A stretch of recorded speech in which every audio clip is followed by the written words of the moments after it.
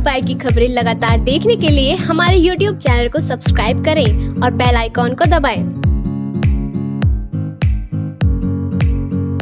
इस खबर के प्रायोजक है KMC health city and KMC cancer institute, उत्तरी भारत का आधुनिकतम सुविधाओं से युक्त चिकित्सा संस्थान, बागपत रोड, मेरठ यूपी मुखिया योगी आदित्यनाथ ने आज मेरठ में कोरोना से निपटने की तैयारी की मंडलिक समीक्षा की सीएम ने लोगों से कोरोना गाइडलाइन के प्रति जागरूक रहने का आह्वान करते हुए कहा कि कोरोना की पहली लहर का यूपी ने बखूबी डटकर सामना किया है।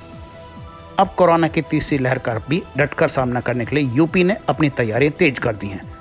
तमाम व्यवस्थाओं को और दुरुस्त किया जा रहा है। आइए देखते हैं मीडिया से क्या कहा मुख्यमंत्री योगी आदित्यनाथ ने। कोरोना महामारी के खिलाफ देश की जो लड़ाई चल रही है आदरणीय प्रधानमंत्री जी के मार्गदर्शन में इस सदी की सबसे बड़ी महामारी से पूरा देश और पूरी दुनिया जूझ रही है। भारत ने फ़र्स्ट वेव का मुकाबला पूरी मजबूती के साथ किया और सेकंड वेव वर्तमान में हम सबके सामने चुनौती देते हुए खड़ी है।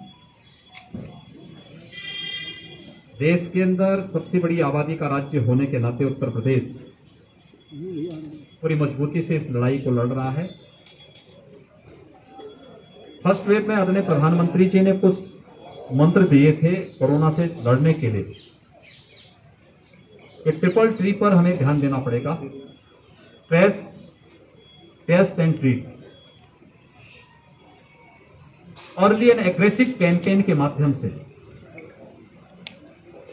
हम इस लड़ाई को बहुत मजबूती के साथ आगे बढ़ा सकते हैं। फ़र्स्ट वेव में यह आशंका व्यक्त की थी विशेषज्ञों ने कि उत्तर प्रदेश में एक्टिव केस एक लाख से ज़्यादा जाएँगे और उत्तर प्रदेश में एक्टिव केस सड़सठ हज़ार पर नियंत्रित गए थे और फ़र्स्ट वेव में जो यहाँ पर प्रतिदिन आने वाले जो मैक्सिमम केस थे वो सात हज़ार दो सौ तक पहुँचे थे। सेकेंड वेव जब आई महाराष्ट्र के अंदर, दिल्ली के अंदर, जब पॉजिटिविटी बहुत ज़्यादा बढ़ गई तो दुनिया के विशेषज्ञों ने, देश के भी विशेषज्ञों ने आशंका व्यक्त की कि महाराष्ट्र और दिल्ली की स्थिति थी, उत्तर प्रदेश तो आबादी का सबसे बड़ा राज्य है। इसकी क्या स्थिति होगी? और उन्होंने आशंका व्यक्त की थी कि 25 अप्रैल से लेकर के 10-15 मई के बीच में एक लाख केस प्रतिदिन उत्तर प्रदेश में आएँगे।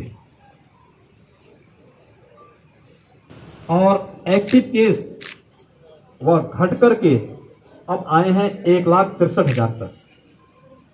यानी हम लोगों ने पिछले पंद्रह दिनों के अंदर एक्टिव केस एक लाख सैतालीस हज़ार से अधिक एक्टिव केस उत्तर प्रदेश के अंदर कम हुए हैं।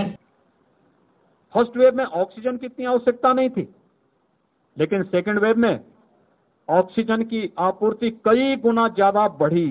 लोगों ने डिमांड की। ऑक्सीजन की दृष्टि पहली बार देश के अंदर ऑक्सीजन एक्सप्रेस भारत सरकार के सहयोग से चले। एयरफोर्स के जहाजों के माध्यम से ऑक्सीजन के टैंकर भेजे जाते थे, वहाँ से ट्रेन के माध्यम से मंगाए जाते थे। और आज हम लोगों ने हर जनपद में सरप्लस ऑक्सीजन तक उपलब्ध कराने में इस दौरान हम लोग सफल रहे हैं। लेकिन फ्यूचर की आवश्यकता को ध्यान में रखकर, ऑक्सीजन आत्मनिर्भरता की दृष्टि अकेले मेरठ मंडल के अंदर 35 नए ऑक्सीजन प्लांट लगाने की कार्रवाई वर्तमान में चल रही है। और जिसमें अकेले मेरठ जनपद में 10 ऑक्सीजन प्लांट वर्तमान में, जिन पर या तो कार्य प्रारंभ हो चुका है या जिन पे कार्य होने जा रहा है, जिससे आने वाले समय में यहाँ के मेडिकल कॉलेजेज हॉस्पिटल और सीएससीज में ज़्यादातर को हम लोग ऑक्सीजन की देश से आत्मनिर्भर कर सकेंगे और बाहर से ऑक्सीजन लाने की आवश्यकता नहीं पड़ेगी। इस खबर में आज इतना ही। आप देखते रहिए फ़र्स्ट बाइट डॉट नमस्कार।